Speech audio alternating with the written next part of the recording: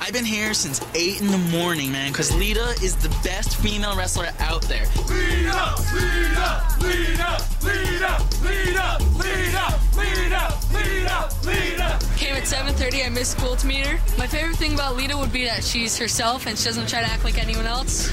And she's just an amazing wrestler and she's not afraid to take any risks. I want to be everything she is. She's like, she's beautiful. She's such an athletic woman, and I just look up to her in so many ways.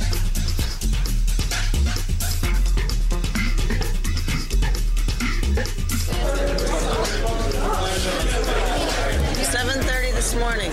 It's a positive thing for me to see so many fans interested in the book, and the timing of my book coming out um, coinciding with my return from my absence from the wrestling ring, 15 months out, and just to know that they're still out there, they still care about me, and just as excited as ever to see me.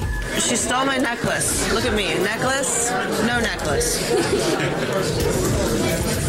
That's all right though. You can keep it. It's okay.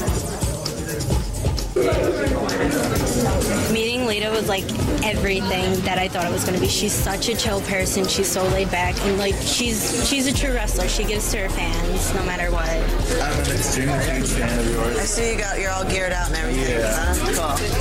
I thought the fan turnout here was really great. Up in the um, New York area, we're kind of we've always got a lot of strong turnout, and you start to see familiar faces. So that's always good to know that although you see them a bunch of times, they really are, have a better understanding of me as a person because they're going to read my book. I mean, I've been everywhere from Toronto, Canada to Seattle, Washington, trying to get her autograph, and finally today's like the culmination of all my hard work. Today, I also received from a girl who was a really talented artist. She drew a picture of me and had it framed and everything and presented that. So it's always really special to know that someone took that much time to, to draw a picture of you and bring it out to me today.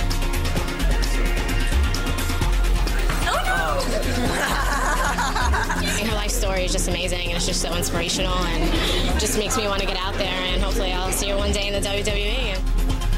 Today is definitely one of those days, no matter how tired you are, that is really good to have that close interaction with the fans because sometimes you get so detached and just to know and to be able to talk to them and chat with them and, and just really remind yourself I'm one of them and they're one of me, just even though my job's on TV.